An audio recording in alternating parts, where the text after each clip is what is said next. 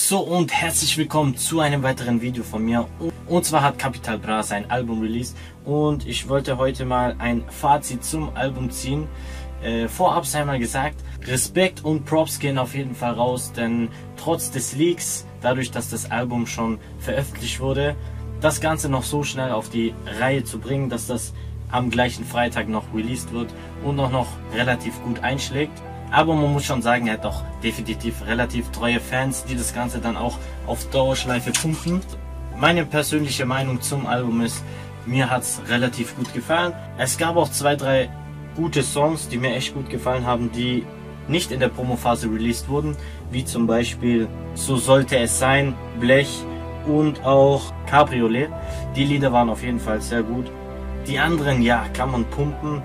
Das Album war jetzt nicht schlecht, meiner Meinung nach, ist natürlich Geschmackssache. Die einen oder anderen wünschen sich den alten Capi zurück, der ein bisschen die härtere Schiene fährt.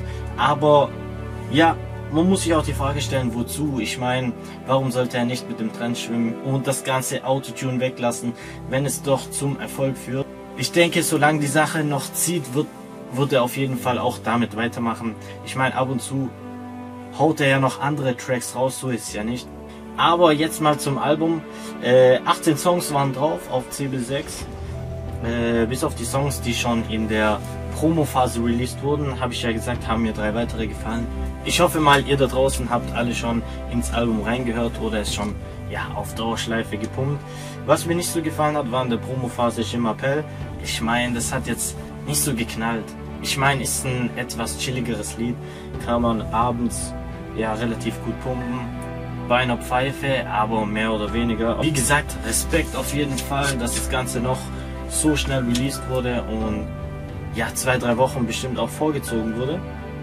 Und wie gesagt, ansonsten habe ich auch gar nichts mehr dazu zu sagen. Das Album war geil und in diesem Sinne unterstützt den Jungen, streamt die Songs auf Spotify und dann würde ich sagen, sehen wir uns im nächsten Video. Peace.